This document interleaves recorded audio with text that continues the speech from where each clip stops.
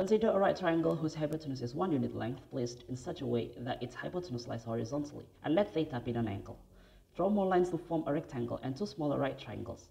By the properties of triangles, the angles here and here are also equal to theta. Remember the definition of sine and cosine and rearrange to obtain the lengths of sides of both and adjacent to theta. Focus on the first triangle. Its hypotenuse is 1, so naturally the opposite side to theta will be exactly sine of theta, and the adjacent side will be cosine of theta. Move to the smaller triangle on the right side. Its hypotenuse is sine of theta, so the side opposite to theta will be sine squared of theta. Similarly, for the triangle on the left side, its hypotenuse is cosine of theta, so the side adjacent to theta will be cosine squared of theta. However, since it is a part of the rectangle, the rectangle's sides above and below must be of the same length. That is, sine squared of theta plus cosine squared of theta is equal to 1. QED, quod erat demonstrandum.